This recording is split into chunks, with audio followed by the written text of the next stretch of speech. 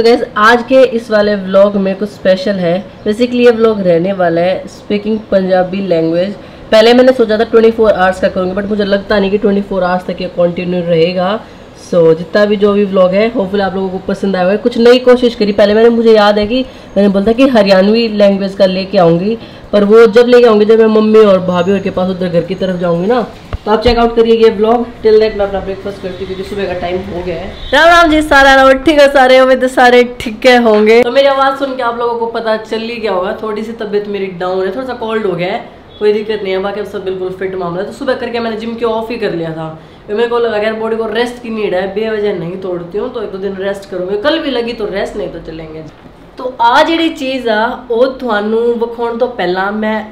ਇਹ ਚੀਜ਼ ਦੱਸਣਾ ਚਾਹੁੰਦਾ ਜਿਹੜਾ ਮੈਂ ਨੈਕ ਪੀਸ ਜਾਂ ਤੁਸੀਂ ਕਹਿ ਸਕਦੇ ਹੋ ਪੈਂਡੈਂਟ ਪਾਇਆ ਹੋਇਆ ਹਾਂ, ਤੋ ਆ ਉਹੀ ਪੈਂਡੈਂਟ ਆ ਜਿਹੜਾ ਮੈਂ ਤੁਹਾਨੂੰ ਲਾਸਟ ਵਲੌਗ 'ਚ ਵਿਖਾਇਆ ਸੀ। And I totally loved this pendant ਇਹ ਜਿਹੜੀ ਚੀਜ਼ ਆ, ਇਹ ਮੈਂ ਉਦੋਂ ਮੈਨੂੰ ਮਿਲੀ ਸੀ, ਜਦੋਂ ਮੈਂ 12th ਕਲਾਸ 'ਚ ਹੈਡ ਮਿਸ ਸਕੂਲ ਦਾ ਖਿਤਾਬ ਜਿੱਤਿਆ ਸੀ। ਤਾਂ ਇਹ ਜਿਹੜਾ ਕਰਾਊਨ ਸੀ, ਇਹ ਮੈਂ ਪਾਇਆ ਸੀ ਉਦੋਂ। ਤੇ ਮੇਰੀ ਟੀਚਰਸ ਮੇਰੀ ਪ੍ਰਿੰਸੀਪਲ ਤੇ ਮੈਨੇਜਰ ਸਰ ਉਹਨਾਂ ਨੂੰ ਇਹ ਮੈਨੂੰ ਗਿਫਟ ਚ ਦਿੱਤਾ ਸੀ to being a miss girl ਔਰ ਇਹਦੇ ਨਾਲ ਨਾਲ ਤੇ ਮੇਰੇ ਸਕੂਲ ਦੇ ਨਾਂ ਦੀ ਬੈਜਿੰਗ ਵਾਲਾ ਸਟ੍ਰੈਪ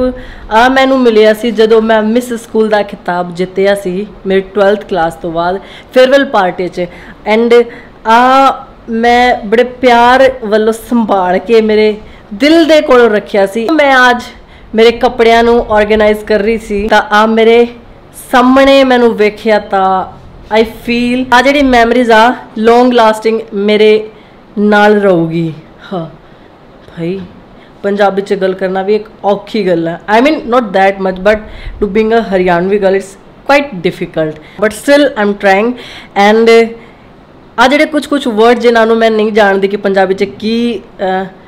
ਆਖਦੇ ਹੁੰਨੇ ਆ, ਤਾਂ ਮੈਂ ਉਸ ਵੱਲੋਂ ਕੁਝ ਇੰਗਲਿਸ਼ ਵਰਡਸ ਐਡ ਕਰ ਰਹੀ ਹਾਂ ਯੂ نو ਆਮ ਸ਼ਾਰਪ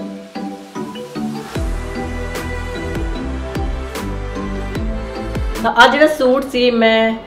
ਸਿਰਫ ਇਸ ਵਲੌਗ ਲਈ ਨਹੀਂ ਪਾਇਆ ਸੀ। ਮੈਨੂੰ ਕੁਝ ਆਪਣਾ ਇੰਸਟਾਗ੍ਰam ਰਿਲੇਟਡ ਜਾਂ ਯੂ ਕੈਨ ਸੇ ਆਪਣਾ ਕਮਰਸ਼ੀਅਲ ਵਰਕ ਰਿਲੇਟਡ ਕੁਝ ਸ਼ੂਟ ਕਰਨਾ ਚਾਹੀਦਾ। ਤਾਂ ਕੰਪਲਸ਼ਨ ਸੀਗੀ ਕਿ ਮੈਨੂੰ ਪੰਜਾਬੀ ਸੂਟ 'ਚ ਉਹ ਚੀਜ਼ ਸ਼ੂਟ ਕਰਨੀ ਆ, ਤਾਂ ਕਰਕੇ ਮੈਂ ਸੂਟ ਪਾਇਆ ਸੀ। And I totally loved this look because lastly ਮੈਂ ਸੂਟ ਉਹਦਾ ਪਾਇਆ ਸੀ ਜਦੋਂ ਮੈਂ ਮੇਰੇ ਪਿੰਡ 'ਚ ਗਈ ਸੀ। ਐਂਡ ਉਹਦੇ ਬਾਅਦ ਉਹਦੇ ਬਾਅਦ, ਹਾਂ। ਬਾਅਦ ਬਾਅਦ ਹੀ ਉੱਥੇ ਉਹਦੇ ਬਾਅਦ ਮੈਂ ਅਜੇ ਸੂਟ ਪਾਏ ਸੀ so little bit excited so now ਹੁਣੇ ਮੈਂ ਕਰਦੀ ਹਾਂ ਉਹ ਸ਼ੂਟ ਤੇ ਮਿਲਦੇ ਹੋ ਤੁਹਾਨੂੰ ਥੋੜੇ ਜੇ ਚਿਰ ਵੱਲੋਂ ਬਾਅਦ।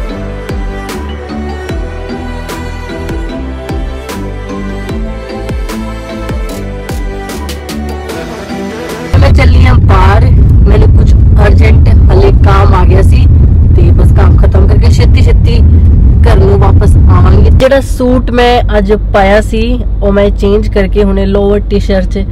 ਔਰ ਯੂ ਕੈਨ ਸੇ ਕਿ ਆਪਣੇ ਅਸਲੀ ਰੂਪ 'ਚ ਵਾਪਸ ਆ ਗਿਆ ਤੇ ਹੁਣੇ ਮੈਂ ਜਾ ਰਹੀ ਹਾਂ ਅਗੇਨ ਮਾਰਕੀਟ ਦੇ ਕੰਮ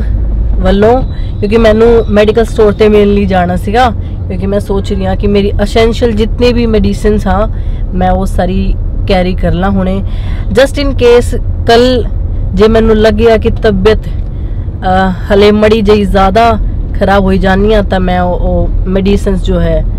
ਲੈ ਲਵਾਂਗੀ। Otherwise finger crossed I want ਕਿ ਮੈਂ ਚੰਗੀ ਵਾਲੀ ਸਵੇਰੇ ਸਵੇਰੇ ਉੱਠਾ ਤੇ ਆਪਣੇ ਜਿਮ ਵੱਲੋਂ ਚਲੀ ਜਾਵਾਂ। ਬਾਕੀ ਫਿਊਚਰ ਨੂੰ ਕੋਈ ਪ੍ਰੈਡਿਕਟ ਨਹੀਂ ਕਰ ਸਕਦਾ ਸੀ, ਤਾਂ ਉਹ ਅਸੀਂ ਹੁਣੇ ਦੱਸ ਵੀ ਨਹੀਂ ਸਕਦੇ ਆ ਤੇ ਹਲੇ ਅਸੀਂ ਪਹੁੰਚਦੇ ਆ ਮੈਡੀਕਲ ਸਟੋਰ ਤੇ ਮੈਂ ਲੈਣੇ ਆ ਮੇਰੀ ਮੈਡੀਸਿਨਸ